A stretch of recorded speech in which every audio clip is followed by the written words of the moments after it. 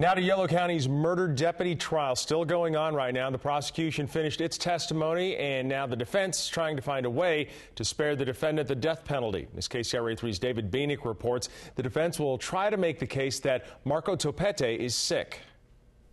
In his 30 minute opening statement, defense attorney Hayes Gable said that Marco Topete has suffered from mental illness since he was a boy. And Gable said over the next few weeks, psychiatric experts will testify that on the night Deputy Tony Diaz was shot and killed, Topete was under incredible stress and lost control. The defense's first witness, Angelique Topete, described how the night of the murder, her husband came to pick her up from work and was drunk.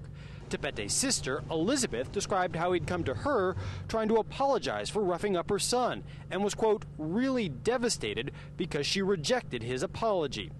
Earlier, Judge Paul Richardson ruled that psychiatric experts will be able to testify that such mental illness could cause someone to lose control, but won't be able to say if that's what happened in this specific case. The prosecution's final witness was a police officer who interrogated Topete. Corporal Ron Cordova said he suggested during the interrogation that the shooting might have been an accident, only as a way to get Topete to confess. This trial lost its first juror today. An alternate juror was excused because of medical issues involving his wife. There are five more alternates waiting to fill in if necessary. In Woodland, David Bieniek, KCRA 3 reports. The defense's case is expected to last about a month. If convicted, Marco Topete faces the death penalty.